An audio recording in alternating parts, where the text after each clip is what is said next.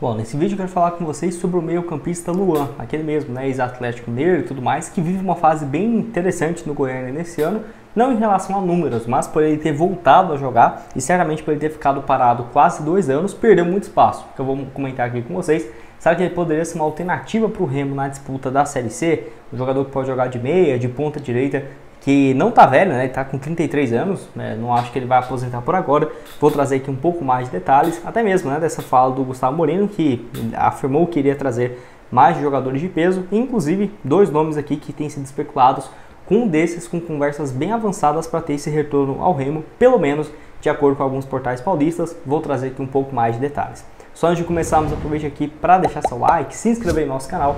Eu me chamo Gustavo, esse aqui é o canal Black Carter Foot e contei com a ajuda de vocês, torcedores do Remo, para chegarmos a essa próxima meta aqui no YouTube, que é de 56 mil inscritos. Faltam um pouco menos de 470 inscritos no canal. Se você está assistindo e não se inscreveu, aproveite aqui embaixo para se inscrever, deixar seu like. Sem dúvidas nos ajuda, nos ajuda bastante. Esse aqui é um canal que nós postamos apenas notícias dos clubes fora do eixo. Então se você puder se inscrever e dar essa moral aí pra gente, quem sabe no final de março ainda não chegamos a esse objetivo de 56 mil aqui no YouTube. Bom, então primeiramente eu quero começar falando aqui com vocês sobre essa fala, né, do Gustavo Morino. Eu vou deixar aqui essa matéria lá, lá, do portal O Liberal. Tá aqui, ó. O treinador Gustavo Morino afirma que Remo vai fazer novas contratações e realmente um reforço. Então ele havia comentado, né, desde o início quando ele chegou, é, de que iriam chegar reforços, mas seriam jogadores de peso, né, realmente que cheguem para serem titulares, não necessariamente jogadores ah, atletas que estavam na Série A ou algo nesse sentido. Não. Mas olhando para o atual plantel do Remo, você olhar ali e falar, ó, esse jogador chegando hoje aqui, por exemplo, seria titular absoluto. Que é esse o intuito, então, né, da equipe é, de contratações que até agora, desde quando o Gustavo Bueno chegou, o Silas foi um jogador que chegou no meio desse período. Com a saída do Camilo, o Remo foi lá e buscou o Silas para esse papel de meia e até agora não tivemos mais outra contratação. Porém, como a janela está fechada, vai reabrir agora no mês de abril, é, depois do estadual, e vai ficar aberta até o início da Série C. Então, certamente vai ser uma janela oportuna né, para o Remo ir atrás de reforços, que é justamente sobre isso que eu quero focar aqui nesse vídeo de hoje. E falando aqui né, sobre reforços, o primeiro que tem conversas avançadas é o Felipe Marques, onde eu vi aqui no portal Netlusa afirmando que o atleta, né, que pertence aí à portuguesa, deve se juntar ao Remo depois do campeonato estadual e tendo esse retorno do Felipe Marques, depois aí de basicamente quatro temporadas e meia, ao clube do Remo, onde ele havia jogado lá em 2018, onde foram 14 partidas e três gols marcados pelo Remo, logo depois ele sai e vai jogar a Série B pelo Londrina, 27 jogos e 8 gols. É, já comentei aqui sobre ele no canal, só que ainda não tinha essa confirmação de que o atleta está realmente bem encaminhado para esse retorno, pelo menos de acordo com as informações desse portal. Ele que jogou muito tempo também no Cuiabá, foi um jogador importante né, no Cuiabá, na, na sua história mesmo. Ele tem mais de 100 jogos pelo Cuiabá, marcou nesse período 11 gols e outras é, 11 assistências também, teve um bom desempenho, ajudou o time a subir é, duas divisões, permanecendo na Série A, jogou Sul-Americana pelo time, passou também aí pelo Novo Horizontino e no São Bernardo do ano passado, apenas dois gols em no total 40 jogos disputados. E agora na Portuguesa, no Campeonato Paulista, 10, gol, 10 jogos, não marcou nenhum gol e nenhuma assistência, mas ele tem aquela, aquela característica que a torcida já está acostumada. Um jogador baixinho ali, de criação, pode jogar de ponta direita, ponta esquerda, ele que é destro, tem 1,66m, então ajuda bastante, né, bem ágil nessa parte ofensiva. Pode deixar sua opinião aqui embaixo, o que você tem a dizer sobre esse atleta nos comentários. Nós estamos sequência aqui no nosso vídeo, um recado para vocês da Máxima FC, patrocinador aqui do canal, que eu quero mostrar aqui, ó, você que é bom de bolão, 300 reais em premiações no bolão totalmente grátis. Para você participar, bem simples, faz seu registro aqui ó, na descrição do nosso vídeo, vou mostrar como que faz aqui. Ó. Vou clicar nesse bolão, clico aqui em continuar. Essa conta eu ainda não fiz o login para mostrar como faz para vocês.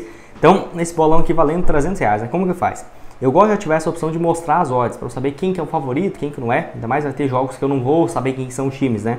Igual esse amistoso aqui, ó. Não sei, cara. Vou, vou colocar aqui, por exemplo, ah, 0x0. Beleza. Aí tem Irlanda e Bélgica. Quanto você acha que vai ficar? Acho que vai ficar 2x1 para a Bélgica. Eslováquia e, Eslováquia e Áustria. 1x0 para a Eslováquia. Bora lá. Inter Miami e New York Red Bulls. 2x1. Bora colocar aqui.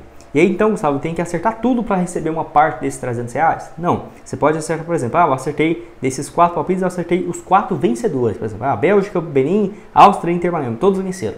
E eu coloquei que eles venceram, beleza, vai ficar numa pontuação. Ah, acertei todos os vencedores, acertei um placar exato.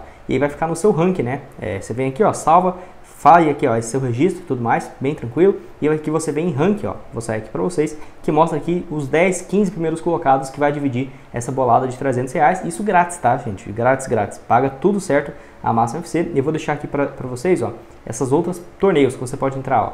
Entrar 3 reais, entrar 5 reais, 10 e com uma premiação bem mais alta, ó. Quarta de clássicos, 2 mil reais em premiações, 10 reais para participar. Vamos ver aqui quem são os times, né? Ó, Vila Nova e Goiás, quanto será que vai ficar jogo? Esporte Náutico, Fortaleza e Ceará, Bahia e Vitória. Então, para você começar na Máxima FC, o link está aqui embaixo na descrição.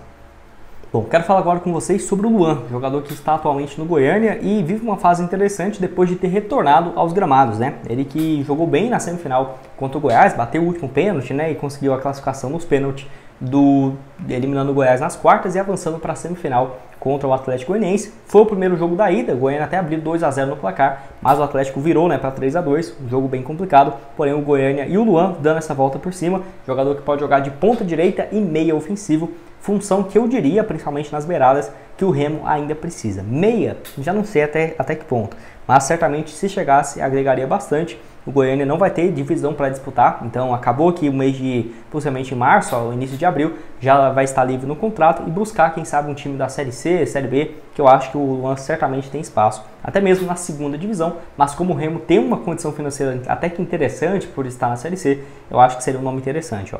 Pelo Goiânia nesse ano, sete jogos, não marcou nenhum gol e nenhuma assistência, mas tem sido uma peça muito importante para a criação de jogadas. Por que, que eu falo que ele ficou quase dois anos parado, né?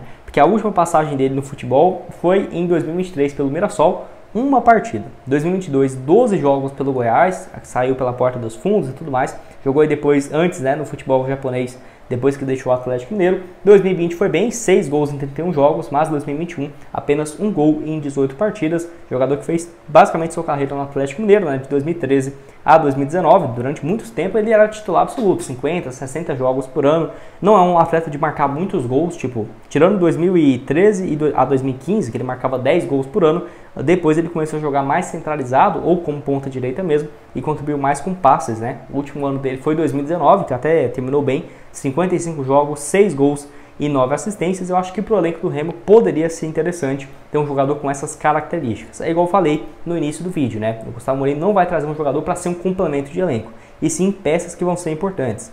O Remo, na minha opinião, também tem muitos jogadores já experientes, não rechearia de medalhões de 35, 34, 30, 32 anos de idade, não.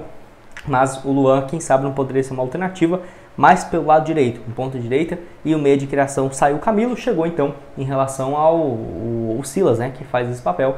Pode deixar a sua opinião aqui embaixo sobre essa questão, né? Se fosse para priorizar reforços, quais posições você colocaria? Deixa a sua opinião. E vai terminar aqui, aqui com vocês, quero até deixar essa matéria aqui também do Liberal, falando do interesse né, no goleiro Luiz Daniel. Vou deixar aqui para vocês, já tinha comentado sobre ele também, que é um alvo por gol. Quem sabe aí o Marcelo Rangel não tem agradado, por exemplo, o Gustavo Mourinho, ou para ser um reserva imediato, o Luiz Daniel, 30 anos de idade, jogou no Santo André nesse ano no Campeonato Paulista, chamou atenção. 12 jogos, até porque jogou contra times muito fortes, né? Palmeiras, São Paulo, Santos, enfim, acabou aí chamando atenção e pode ser uma alternativa para essa próxima temporada. Ele que então já passou por vários times, passou bem pelo Sampaio Corrêa nos últimos três anos, no qual jogou aí mais de 100 partidas pela equipe do Maranhão, jogou também no São Caetano durante muito tempo, São Caetano, São Bento, São Bernardo, mais equipes do interior do futebol paulista e eu acho que pode ser um, um bom goleiro.